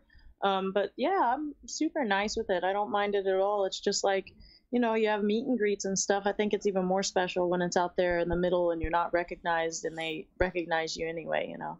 Makes you feel special, I guess. Absolutely. Well, you deserve it. And speaking of meet and greets, is there one that was just missed yesterday or today, or is it coming up in a few days? It's coming up in a few weeks, actually. Tell us where So- and when. Yeah, I have a meet and greet in St. Roberts, Missouri at the Cracker Barrel there. I have a meet and greet at the Cracker Barrel in Springfield, Missouri. And then I have a seminar that I'm getting ready to do at Burn Fit Athletics in Suffolk, Virginia. And I should have a seminar in Springfield, Missouri as well at Springfield Fight Club, what used to be my home gym. Excellent. And for if people wanted to find out more information, what's the best social media place for people to hit you up to find out more about this? Instagram for sure. It's at Fear the Maverick underscore H O M T, or just look up my name, Miranda Maverick. It'll pop up pretty easy. Nice. Now, you being a Missouri girl, let me see if you know the answer to this. And I know you're pretty young at 23, but my producer, Adam, although he grew up in Iowa, he spent several years in Missouri. He was living in a city in Missouri that, what the heck was it, most known for windows, making windows or something? Oh, it's in. Oh, that place was in Iowa. Okay, well, she wouldn't know then. Okay, he he was from, but where? Well, he lives somewhere near near Springfield in Missouri. Where where were you? Lake of the Ozarks. Did you ever spend any time there? Yeah. Yeah, um, uh, so the place where my dad's ranch is is between the Lake of the Ozarks, Lebanon, Bolivar, and Springfield, Missouri. We're basically right in the middle of that, in a little bitty town that he might have heard of called Tunas, Missouri. It's where all the Mennonites live and the little uh, Mennonite shops and stuff and um, auction is every year. Yep. He's nodding his head and gives a thumbs up. Yeah. He, yep.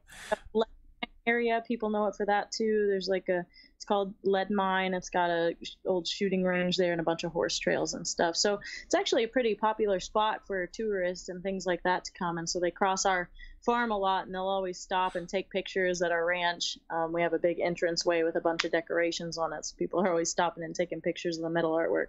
Very cool. Now, let me ask you Maverick is a unique last name. Are there many people named that? And is there an origin for that? Or is that like a shortened, changed name like many of us might have from like a longer foreign name or something? Um, I'm really not sure about the actual history of it. I know it originated from Texas. Mhm. Um, you know, uh, stereotypically, of course. Right. Um, but the meaning of it, I know, is like it started out as like a cow that strayed and wandered, and now it stands for more of like an independent person and things. But I'm blessed to have the name. I don't really know where it comes from aside from that. Very cool. Well, let's talk about this matchup. I think it was either the first time we had you on or the second um, that we you mentioned that you do think Maycee Barber was someone you would see down the line. And I guess down the line came pretty quick because here we Yeah. are, right? July 24th. And just like fighters are learning to fear the Maverick, matchmakers are learning to respect the Maverick and have you as the favorite. Uh, once again, almost two to Wow. one. Yep. Looked yeah, Yep, they have the minus one, approximately minus 170 to 175 on you, and something like plus uh, similar amount or plus two 150 or 190 something. I forget what the comeback is on Maycee, but this is an interesting, interesting matchup because both of you are really young. I think you're like 10 months older than her, or eight months or something. Um, one of the things that I that is different is that she came into the UFC talking trash right out of the gate. Like right out of the gate, she was talking smack to everyone. And it, I guess, you know, it brought a lot of attention around her. She did well at first. She was talking mad trash about going to be the youngest champion other than Jon Jones. And I do think that, you know, good for her for helping to hype herself up. You, I guess you kind of maybe to an extent have to do that, and it certainly can't hurt.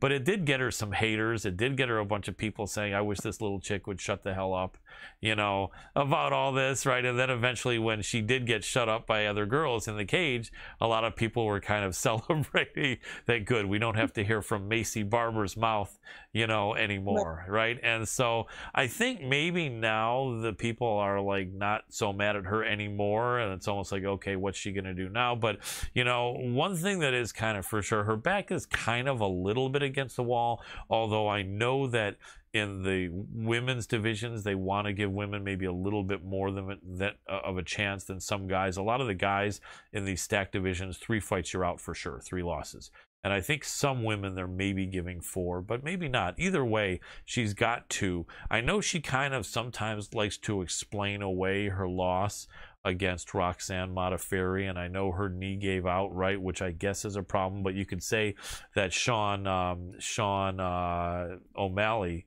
says his foot gave out when it was because of low leg kicks delivered by Chito Vera and then being grounded and pounded out of there. So it wasn't a ghost that beat Sean O'Malley, right? And it really, I think, wasn't a ghost uh, and her knee that that was taking the form of Roxanne Modafferi to beat her. Nevertheless, though, she came back and she did fight a very tough Alexa Alexa Grasso, and I'm sure you feel, as most of us do, that Alexa's a pretty talented fighter. It's kind of interesting how it seemed like she was like a buddy with Dana White, yet right after she loses, they kind of throw her right in the fire against another girl who beats her. And now they're throwing her in the fire again against another girl who's probably going to beat her. So it's almost like some people will say, What's the UFC's motive for this match, right? right? And then some people well, I've read say is to get rid of Maycee Barber out of the organization. I don't know. What's your thoughts on all this? One, you said a lot of stuff, so I'm going to try to address them. Yes. Um, first, Maycee with um, you know, being kind of self-righteous, being all um, showy with her talking and stuff. I don't blame her one bit for that. She had to get her name out there. Look, everybody's talking about her. Mm-hmm. Hate or like, whatever. She's got followers. She's got fans. Um, she's got a lot of eyeballs on her as a result. Uh, she's had two losses, and there's still a lot of people behind her, and still a lot of people talking about her in general. Um, so I respect that. Everybody has their different way of getting famous, and hers worked for her. That's great. Um, she hasn't said anything bad to me yet. Um, I don't mind if she does or doesn't. You know, it doesn't affect the outcome of what's going to happen, and it's not going to affect my attitude going into it. In fact, the more shit talk that's given to me, the more motivation. Um, let's see. The other side of things, the men who get kicked out of the UFC before the women as far as their losses. One, there's a lot more competition for men out there. You kick out a woman, it's kind of hard to fill that gap. Yeah, there's not right. that many women there of high skill. Um, not to be mean to a lot of women, there just aren't as many women in the sport in general. To where the men, there's like 20 biting at the bit every day to get into the UFC. You know. Agreed. Um, women so much, maybe a couple, you know, that are available every once in a while that are of the quality they want to take those fights.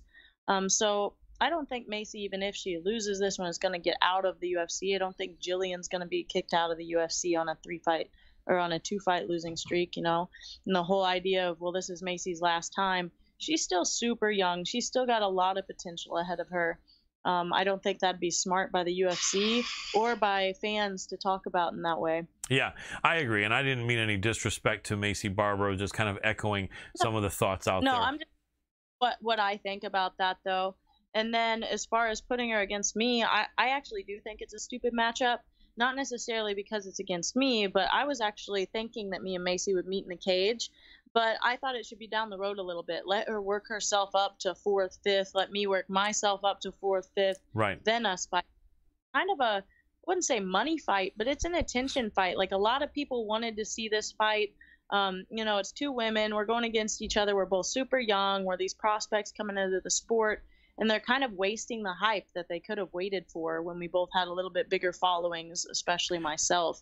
Um, but you know, I, I, love it. I love it. It's getting me a lot of attention quick. Um, a lot of people say they're throwing me into the fire. Um, I see it the opposite, kind of like you said.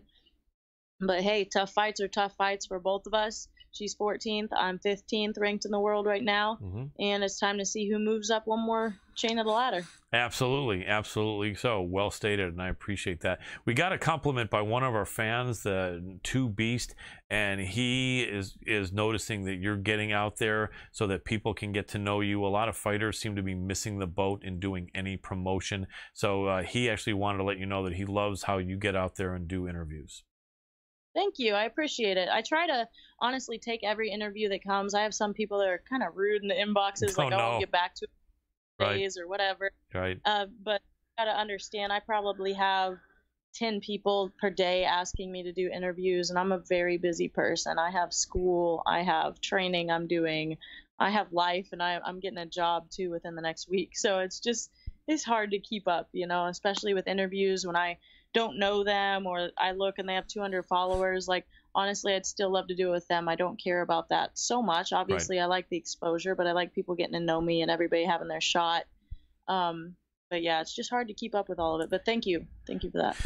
Without a doubt, Two Beast, she appreciates that comment. And uh, Miranda, we appreciate you being on with us. We've always uh, respected you from the beginning, and we appreciate you staying with us because you're blowing up. We're blowing up. We just found out that uh, FITE TV, our distributor, got uh, purchased by Triller. And you know, Triller is the company that put on Mike Tyson versus Roy Jones. They're putting on Ben Askren versus Jake Paul.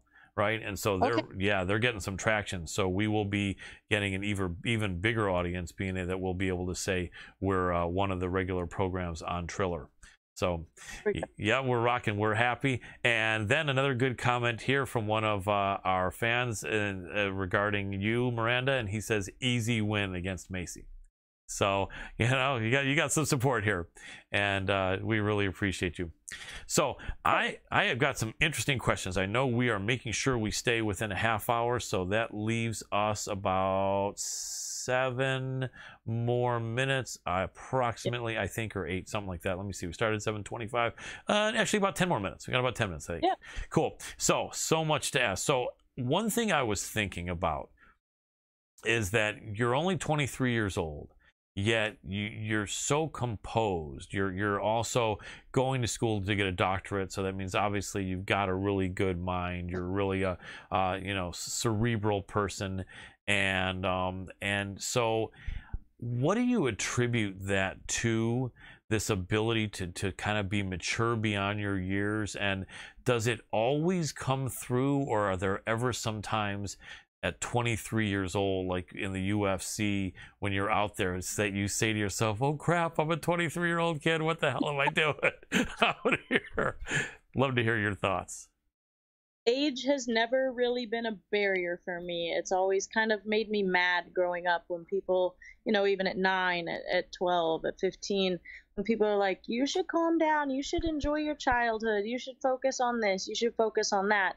And the older I get, the more I realize that adults don't have it all figured out either. Right. You know, they don't they don't know what's going on, um, and to let me do my own thing.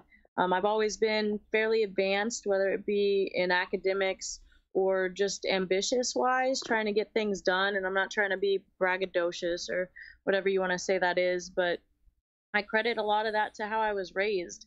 Um, my dad focused a lot on uh, work ethic and teaching us to work hard and also to give us this faith background. You know, I Mhm. believe in God, I'm a big Christian. Mhm. And I think as long as you believe in that and, and work hard to meet the goals that you pray about and ask about and try to reach and set the not only have the insight and the vision to see it, but also set like little goals ahead of you. You can't just be like, oh, I want to make it to the UFC and then sit on your ass. That's not going to happen. You got to get in the gym and try as hard as you can to make those dreams come true. They're not going to come true. And so that's what I've kind of done in every aspect of my life. And if anything, I feel like my biggest flaw or my biggest problem is not being able to say no hmm um, whether that be, oh yeah, I've got time to help you with this, or yeah, I've got time to tutor people too. That's an extra this much money, or I've got time to do private lessons. Like right.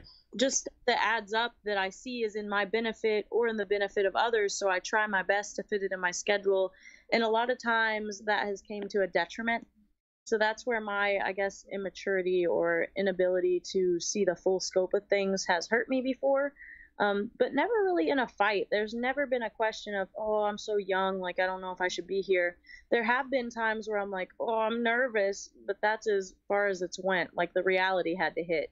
Like my fight against Liana, for instance, that was the first time one that I got to fight a girl that was pretty young. hmm Um, actually, all my fights in the UFC now are going to be against younger girls than I've ever faced in the past, which is pretty cool. Yeah. Um, but when I got in there against Liana, everything was never real. I got signed to the UFC back last June. I had my eye surgery, which was super unfortunate, and my debut got delayed. um, then I had it set up with Liana and had the pictures, had media day, had training, the weight cut, all that. But it never really hit that I was in the UFC. It never hit that that dream was true until Bruce Buffer called my name. And I remember my heart just like skipping a beat, you know, like it was just unreal. And so that first 30 seconds or so of the fight, I was just kind of flustered. I don't think I showed it. Like nobody would be able to see that I was flustered, but my timing was off. My rhythm was off. I got hit more than I've ever been fit hit cumulatively in a whole fight usually in that first 30 seconds and then I, I snapped to it and I got what I needed to do done. Um, but that's one of the only times I felt nervous since my uh, like second pro fight, I would say. Nice. Now, for July 24th against Maycee Barber, would you have you heard anything? Is that going to be a fight with fans in attendance or not?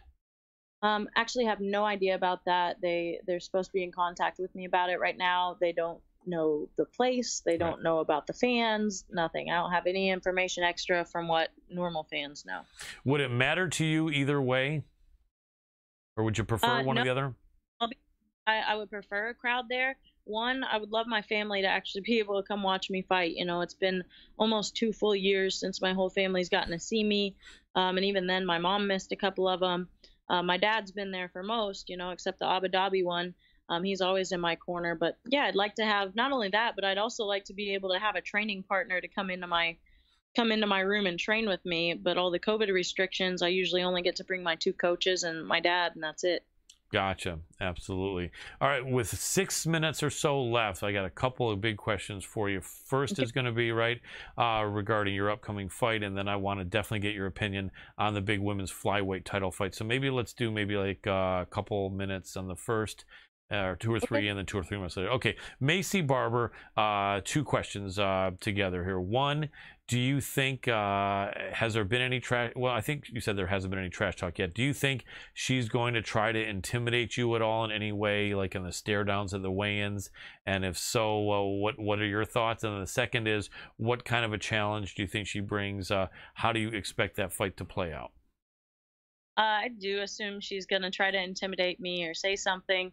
I joke about the whole dad thing. You know, her dad's always in her corner, my dad's in mine. and I'm like, I guess I started the trash talk. I'm like, I think the Maverick duo is gonna win this one. You know, I think love I've got the better dad, the better whole fight team with me.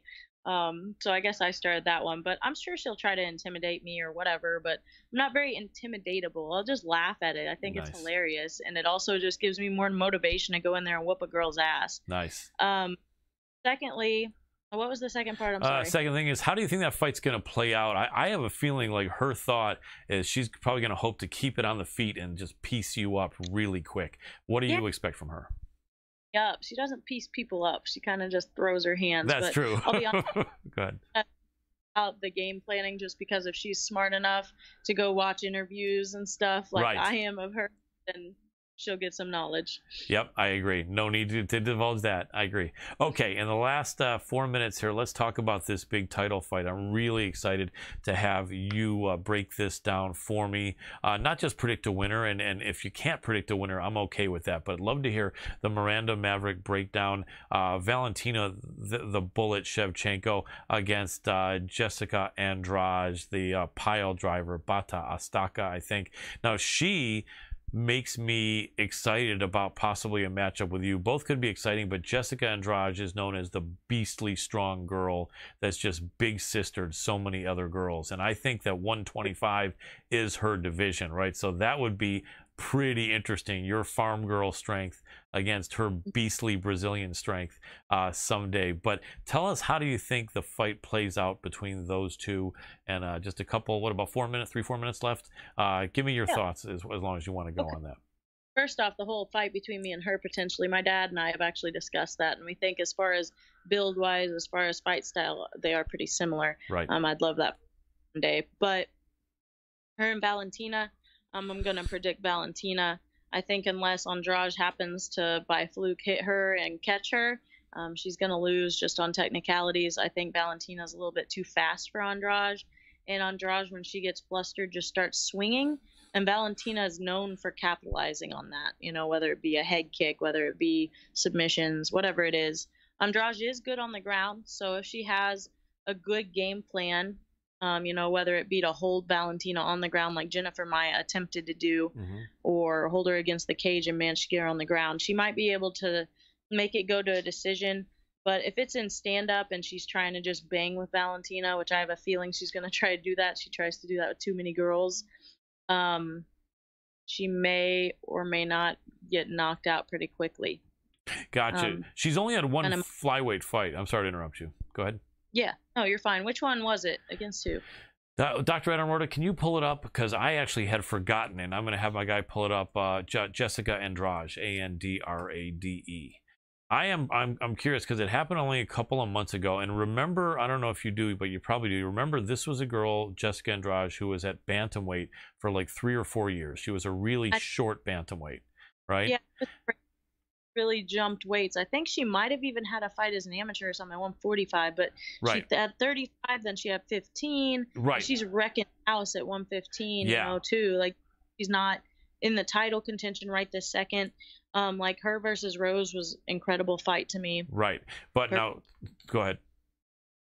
No, go ahead. Cool. Sorry to okay. I found out who it was. I'm excited to tell you. Sorry to step on your words. So she had her one flyweight fight October 17th, where she just burnt through Katlyn Chookagian with body shots. Ah, that's- yeah. that's- Right. And so here's what my thought is: the only reason she dropped from bantamweight to strawweight was there was no flyweight division.